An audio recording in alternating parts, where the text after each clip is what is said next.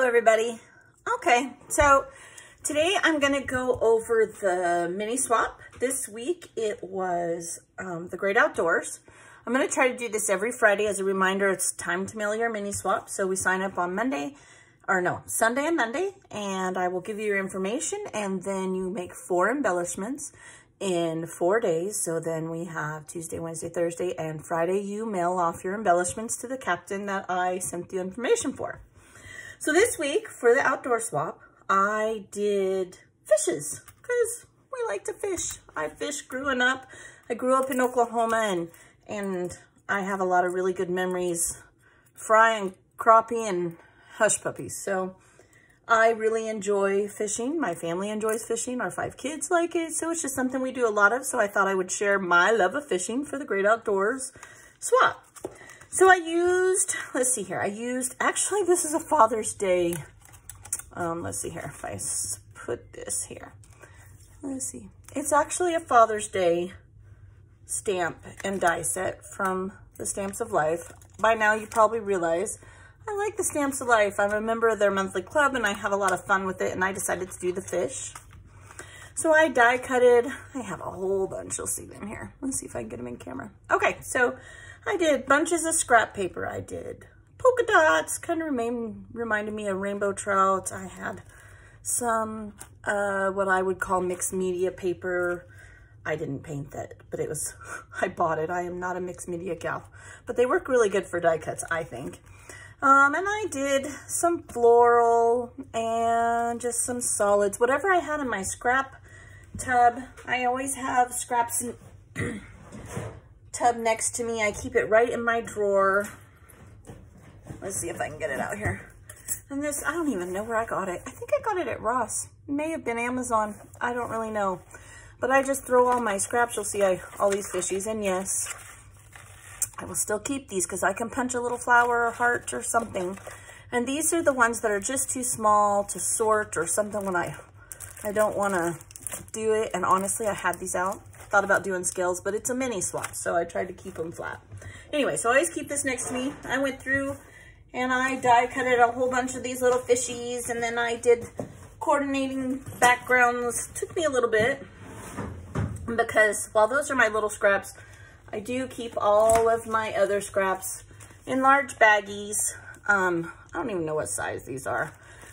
I own a business. My husband and I um, have a business and I used to ship in these for our products and I had a bunch left over and I like them because you can write on this part of it, but I use them for my scraps I keep on my desk. So anyway, long story short, I did all these little, little fun little fishies and we'll put one together here. I'm going to show you what each packet ended up with because I also did a tag. So my idea was to make a tag for each person. But as I started to make these tags, mm, they kept getting bulkier and bulkier. And I'm always preaching to y'all not to, not to make them too bulky. So I decided with help of advice from Sherry, and I think Michelle, I asked, I was like, mm, should I make the tag? Shouldn't I make the tag? Uh, it was a 50-50. So I decided not to make the tag because as I was doing it, I wanted to add some twine, I wanted to add some more little bling and I decided, you know what, this is getting bulkier and bulkier because I also wanted to pop up the little arrow on some foam tape. So this is my idea. This is how I would have done it. You're to get pieces of it each if we're on, if you're on the same team with me. I was to pop that up and I was to take some twine and have it go up here and just kind of make a little loop like a fishing line. That's my idea. But instead, you're to get the parts. So you're to get a little fishy, fishy, fishy. My dad used to sing a song. Fishy, fishy in the brook. Fishy, fishy, jump on my hook.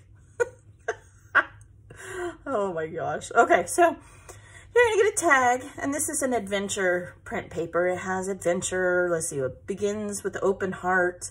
Awaits wild and free. Travel the world. It says a bunch of different things. And then I did a little scallop with a stamp with some scrap paper that said hello. Now, when I tucked it behind the fish, I just let the hello show, but you can do it however you like. And then I made a coordinating tab and I made sure all my words were up. So when you tucked it in, they, you know, would have been kind of crazy to have them upside down. So that's what each little baggie will have. I did sign the back of each tag with my ginger stamp. And one of these times I will, I will show you that. I've had it for years. It's just a little, little wooden stamp I have that has my name on it. So that's what's going to go in each baggie. I did put a little gem for the eye, but it's it's pretty flat. I made sure it was not, push all the air out, made sure it was not protruding or too bulky. And we'll put a fish together super quick here. Let me grab my, my favorite tacky glue that Miss Janet showed us ever. So let's see, I think I like this one. Yeah, that's what we're gonna do. We'll do two of them. Okay. I don't even think y'all need me to show you this, but hey, it's what we're doing, right? We got some little scragglies. When you have to die cut it, sometimes they like to stay in there. And normally I'm not picky. Like if I have a floral that has so many little intricate, I agree with Janet. It's not worth sitting there and poking them out. But in this case, there's not a ton.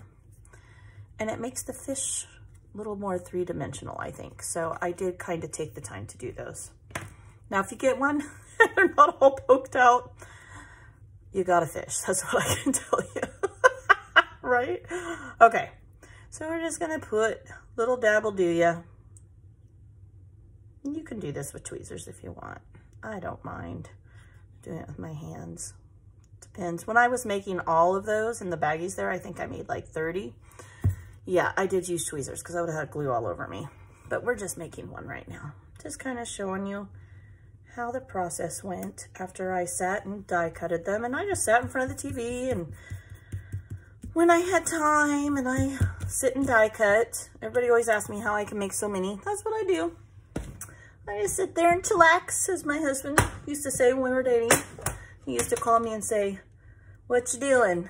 Chillaxing? I was like, okay, that's too California for me. I'm too country. Anyway, so then I took a little gem and I put on his little eye. So him has some little sparkle, right? Sparkle's always good. Now, I will be honest with you. I bought this at Hobby Lobby after Janet showed it to us in one of the videos. And if this was not a mini swap and this was a main swap, I would probably take these tiny ones, these really, really tiny ones. See how little they are? And I would probably do like maybe a rainbow of sparkles and if you get these and you want to do that, oh, do it and show me. I would love to see it. But, you know, the darker ones, I just think it would be pretty. I do, but I think it would add too much for a mini swap. So I decided not to, not to do that. Okay, so we make those, we'll let them dry. And these, I just, like I said, I just punched out a bunch of different ones. I matched them up. You poke them out too. Poke his little, his little scales. I did think about doing the sequins too. I thought that would be pretty across there, but again, I didn't want it to get too bulky. So we'll just, you know, I find the older I am, the less I'm patient to fish. I don't know why. You would, I've been told it's the opposite, but not for me. I got other stuff to do. Maybe it's because I have five kids and I have a grandbaby and I feel like I run like a chicken with my head cut off. I don't know. You could ink these too if you wanted to. I didn't. I, I do ink often, but I didn't this time. I just thought they were okay the way they were. And, you know, you wouldn't even have to put them on the tag. If you did two or three of these, you could put them on foam tape and have them. I think it would be really cool to have a piece of cardstock. See, I go on tangents. Maybe that's not good. Maybe I should, I don't know. Okay, I, this one's cut down, but I think it would be totally cool to do a layout. Like here's your photo. This is not a 12 by 12, but a 12 by 12 piece of paper and have the fishes jumping over your picture. Wouldn't that be cool? I think that would be really super cute. And I have a picture of my granddaughter in mind and I, I'm, maybe I'll do that on a video. I don't know. That's a lot of pressure. I can barely do these, but anyway, that's my idea with these when I started doing them for myself for a layout. And then at the end, have the tag and a fish with the twine and everything. You could even run twine there and then have the fish on there. Oh, you could even do like a flag with the fish, you know, when you catch the fish. Oh, I have to do that. I have a picture of my son who is now 21. I think he was like 11. And we went to Big Sky, Montana. And he caught like, I don't know, eight trout. Rainbow trout? Was that what it was? I don't remember. I'm getting old. I don't. You know, when you have five kids, you don't remember which kid was where on what trip. Because once they become adults, but then you still have little ones, it's, yeah, it's not always easy. But anyway, that would be really cute. Like do a flag with all the fishies. That would be super cute. That would be cute. Okay, yeah, see? Brainstorming, sorry. Shouldn't do that. All right, so once you get all that done, I baggied them up, obviously. Like I said, I did just whatever I had. Then we're gonna take our envelope, like I showed you in the other video, and you're gonna address it to yourself and from yourself. So to yourself, from yourself, you're gonna put your two stamps here in the corner. You're gonna fold it in half, right?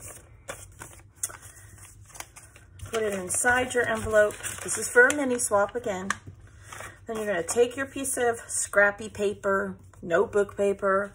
I use scrap um, cardstock. Three, one more. Okay, now if I was just doing the fish, which honestly you totally could, I would flip it over, flip it over. It is very important that you flip it over because, like I said before, washi tape will tear those embellishments. I've had it happen. It happens a lot. And then I feel really bad and your captains will feel bad. And, but anyway, so I, I decided to do the little pack. And remember, we want to keep them flat. So I'm actually going to start this way. Washi tape it to that side. And then we're just going to keep going, right? You mail four, so there's two. This one I'm going to actually stick right under here. And you can tape them however you like. I try to stagger them a little so that maybe they're not quite so, there you go. See now, not gonna go anywhere. There's our four, so they're not so bulky. Oh, look at that. And that happens, so you know what? Washi tape to the rescue. Okay. You guys will learn over the course of videos. I'm crazy. All right, so stick that in there, nice and flat. We're gonna close it up and we're going to mail it. Once again, you'll put your captain's name and your name and you put your stamps, you throw it in the mail. Your swap will get to your captain. They will message you when your happy mail's on the way and that's it. It's another swap done, right? So I did all of these. Like I said, I did 30 of them and I think it took me, mm, probably about an hour, if I'm being totally honest. And then maybe like 10 minutes to sit and baggy them all up. Now, I am to tell you, little secret, if you're watching my video, we have an upcoming swap. And I know that I have seen other YouTubers mention this. I think I've seen Janet mention it. I don't know. But whenever you're doing, oh, what is that? For jeebers oh, my dog. I've taken him and had him blown out for his hair. He's driving me crazy. I'm going to have to vacuum this like crazy. Okay, tangent. All right, so when you're doing tags and you're doing those little tabs, when you're doing arrows, just punch a bunch of them. And I will tell you why I'm kind of obsessed with it right now because we have a swap coming up that I'm going to put probably in September that where it's going to be called all about that base. And we are going to swap an envelope with a partner of cluster bases. So your tags your um your little let's see if i can get this one the little scallops anything that you would use as a cluster base just keep throwing a couple extra aside because that swap is coming up.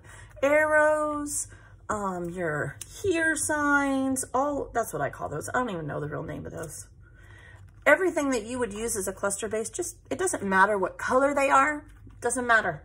If you're already doing something, do an extra five or 10 so that when that swap comes and you get your partner, you can just toss them. It'll be a no-brainer and you'll get a whole bunch back. That'll be a fun little swap we're going to do probably in September, maybe October, depending on what I get in there. All right, so yeah, that's what I have for this week. My next video will be for next week's, which is um, Summer Fair. And I will see you guys then. I hope you had lots of fun. Have a great day.